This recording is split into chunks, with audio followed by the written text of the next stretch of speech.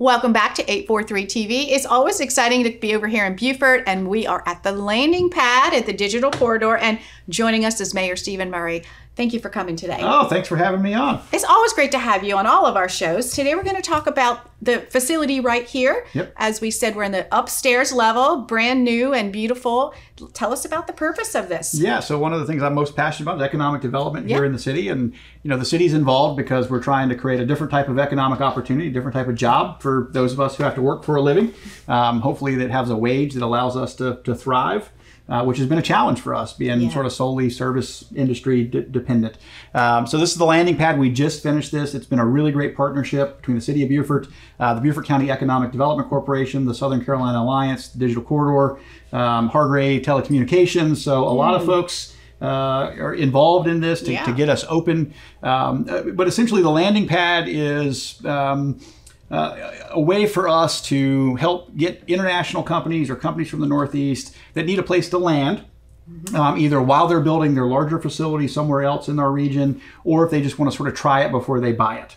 Yeah. Um, and so you probably saw the announcement. I think you have Sky William from SkyDrive on, uh, a Japanese company that's moving into the, the domestic market. And so super excited about having SkyDrive here. Um, and so that's exactly what we're trying to do. SkyDrive wants to move into the domestic market. They need resources. They need a place to land. And so that's what really what this facility is all about. Yeah, so somewhere great for them to analyze the area. And as we, like you said, we talked to William earlier, and he loved it first shot. He said he doesn't go need to go anywhere else, right? We, we love that kind of we love that kind of confidence. Certainly, I'm a, I'm a little biased as a you know a manufacturer and as the mayor. Yeah. Um, but we understand that time is is money, um, and so our goal is to try to make a relocation into our region as you know swift, as simple, and as certain as, as possible, um, and to connect people with the right resources so they can get up and, and be successful.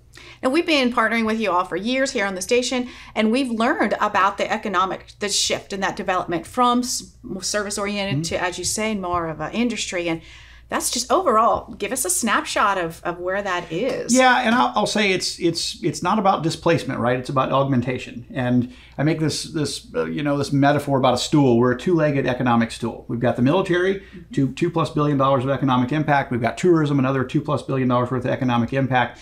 Uh, but the two-legged stool is not very sustainable.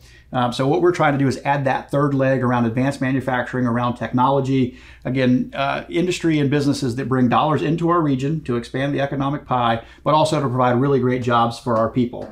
And in the last four or five years, um, as the kids would say, we are just killing it. Yes. Um, you know, folks like John and Charlie that run the Economic Development Corporation. Uh, you got Jess and the board of directors downstairs at the Beaufort Digital Corridor. Our friends at the Southern Carolina Alliance. It really has been a team effort.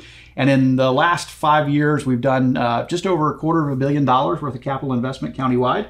Over a thousand committed jobs, and I believe the, the new wage numbers. And John and Charlie, correct me on this. I think we're at somewhere around forty-seven, forty-eight thousand dollars $48,000 a a year. Um, just in the city, we've filled nine vacant industrial buildings. Our Oh. spec building is almost filled out in the Beaufort Commerce Park. Um, so, arguably, we have the most successful economic development initiative in, in our county's history right now that's finally moving the needle and diversifying our economy and creating really great jobs for our people.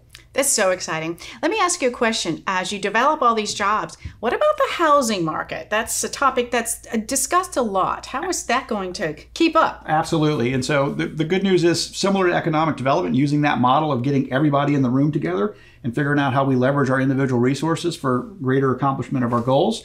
Um, we've been working with uh, eight other jurisdictions, including Jasper County and Hardeeville. Um, and so we're very close to uh, creating an affordable housing trust. Uh, which will leverage uh, public monies to help spur affordable workforce housing across the region. Um, will also give us an expert, similar to John and Charlie, but in the housing space that can help bring partners and, and players together. Specifically to the city, we've uh, allocated a million dollars worth of ARPA money uh, to help that process, and we just wrapped up an affordable housing task force that has 24 recommendations. And so now we're getting to work and taking those recommendations and executing them into, into policy. Wow. So it's been an exciting time as mayor. You're third year now? No, I'm less than two years in. Less than two years. Okay, well, it's not too far off. So you've come in at a great time with so much advancement, so much future ahead. That's got to be exciting. Well, I've, you know, I've come in at a challenging time. I ran in the middle of a pandemic. Yeah. um, you know, with uh, COVID, some see it as a silver lining, some see it as maybe a curse. It's really accelerated uh, growth in our area with folks relocating, which has caused issues on our housing, mm-hmm. uh, caused issues with transportation infrastructure. Um, and so I, I, feel blessed and honored to be mayor, um, but the challenges are, are great. Um, but I also feel blessed that I work with a really remarkable team of people, both internally to the city and then with a bunch of strategic allies. Um, and feel like while we talk a lot about the issues, we are making significant progress and actually fixing some of these problems that our community is dealing with. Yeah, so you're taking action, not just discussing them, solutions. And that's what uh, everyone, like you said, is community is getting together, rallying around, and you've got wonderful facilities popping up and places to do them, like right here last uh, few tips before we close about uh, what that you want to share what's happening in Beaufort. Yeah, I, you know, again, it's a really exciting time. Um, I, you know, as a third generation native, the growth sometimes is, you know, brings me a little anxiety. Uh, but I remind myself if you drive through South Carolina, you drive through certain parts of the Midwest, um, there are a lot of places that are in decline. And so I'm a believer that growth is better than decline. Of course. And that we mm-hmm. shouldn't take it for granted. It's really about how do we work together um, to create a better balance in our community ecosystems and how do we leverage our resources and our wisdom to, to achieve, you know, achieve a future that's going to be different than our past right? But I think if we play our cards right, we can achieve a future that's even more remarkable than our, you know, than our past and our present, and and help us move us closer to our preferred future.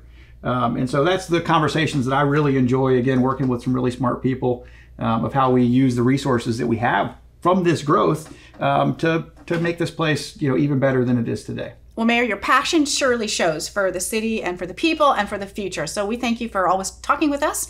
And you all stay right here. We'll be back with more 843 TV.